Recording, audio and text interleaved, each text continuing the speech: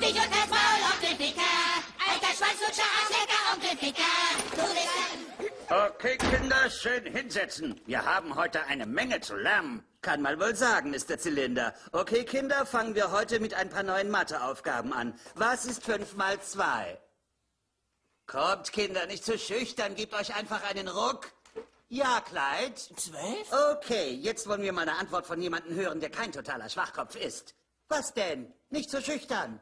Ich glaube, ich weiß es, Mr. Garrison. Rattenfetter. Hey, nenn mich nicht fett, du verfickter Jude. Eric, hast du gerade das Wort benutzt? Jude? Nein, er meint verfickt. Das darfst du in der Schule nicht sagen, du verfickter Fetter. Heil! Wieso kann ich nicht verfickt sein? Eric! Du hast schon wieder verfickt gesagt. Stanley!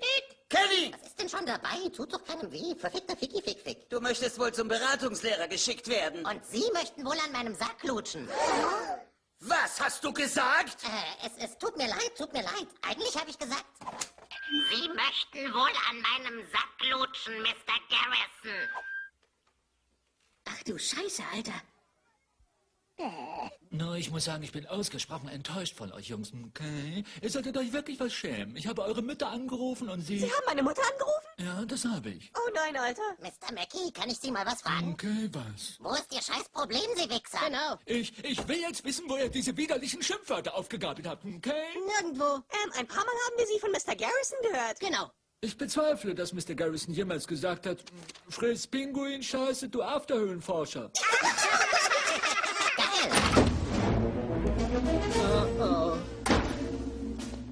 Danke, dass ihr alle so kurzfristig kommen konnten. So kenne ich dich gar nicht, Stanley. Was hat mein Sohn gesagt, Mr. Mackey? Hat er das S-Wort benutzt? Nein, es war schlimmer als das. Das F-Wort? Nun, hier ist eine kurze Liste der Dinge, die sie gesagt haben, okay? Ach du lieber Gott. Was in aller Welt ist Rosettenschlemm? Na, das ist, wenn du die Beine hinter den Kopf tust und einer deinen Arsch leckt.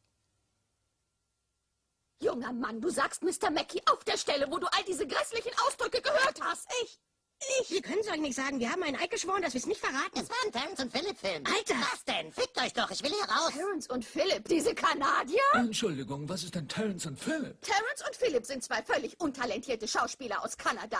Nur Schimpfwörter und Fäkalienhumor. Nun, ich schätze, ich sollte die anderen Eltern warnen, damit nicht noch mehr Kinder Terence und Philip sehen. Den hat doch jeder Arsch schon gesehen. Eric! Tut mir leid, ich kann nichts dafür. Der Film hat meine empfindliche Psyche beschädigt. Warum hat mir wieder diese Eiersalat mitgegeben? Wieder mag ich so sehr.